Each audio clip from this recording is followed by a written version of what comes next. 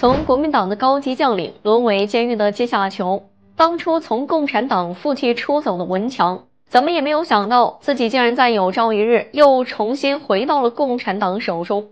淮海战役期间，文强被我军俘获，与将近两百号原国民党高级将领和干部一起关入功德林监狱，从此开启了长达二十多年的战犯生涯。文强性格执拗，被俘后自知无法重获自由。因此表现得特别拽。入狱之初，工作人员要求每个人写一份悔过书，文强拒不配合，还强词夺理说毛泽东是我表哥，朱德是我的上级，周恩来是我的老师和入党介绍人，刘少奇算是我的同乡，林彪是我的同学。这么多共产党大官和我在一起，我却成了国民党，是他们没有带好我。要写悔过书，也应该他们写，我不写。此话一出，众人震惊。文强这句话中的每个名字，无一不是大名鼎鼎的共产党领导人。事实上，文强并非在信口开河，他不仅与这几位中共大人物有着千丝万缕般的联系，就连他自己曾经也是共产党一员。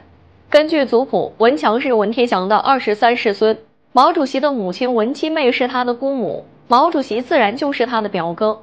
两个人打小就相识，文强称比自己大十四岁的毛泽东为毛大哥。他在自传中写道：“毛泽东开始认识我时，我就跟他抬杠子，一直跟他抬到底。”文强十七岁拜见孙中山，二十四岁加入共青团，还参加过南昌起义，担任红一师师长。而红一方面军的领导人正是朱德朱老总。一九二五年，文强以第三名的成绩考入黄埔军校第四期。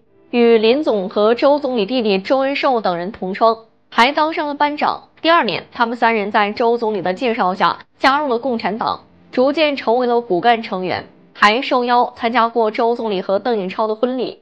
照此发展下去，文强未来的地位不说与这几位大人物旗鼓相当吧，但起码也会是一位留下姓名的开国元勋。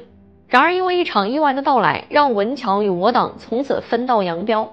一九三一年，由于叛徒出卖，文强被敌人捕获。尽管在党内特工的营救下侥幸逃脱，但因为当时执行的错误路线，被列为重点怀疑的对象。组织上认为他有失节行为，处以留党察看一年的处分。从入狱到误解这一系列遭遇，让性格清高的文强备受打击。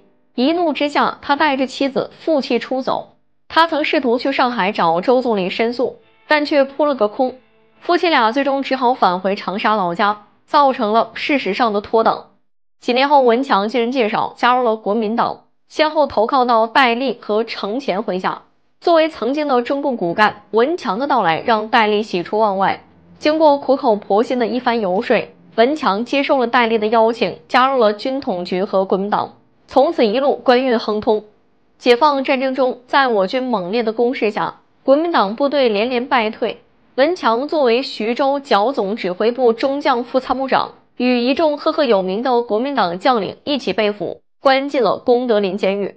直至一九七五年，最后一批战犯被特赦，文强才终于走出了功德林监狱，重获自由。根据我党的宗旨，特赦战犯可以自由选择定居地。文强的儿子和弟弟在美国，还有一个弟弟在台湾，但他却说：“我一不出国，二不去台湾，我就待在大陆。”晚年时期的文强只做了两件事：第一件事是撰写回忆文章，试图唤醒海峡两岸故交旧友的情谊；二是参与组织黄埔的同学会。好了，今天的故事就讲到这里，欢迎大家给视频点赞、留言、加个关注，下期再见。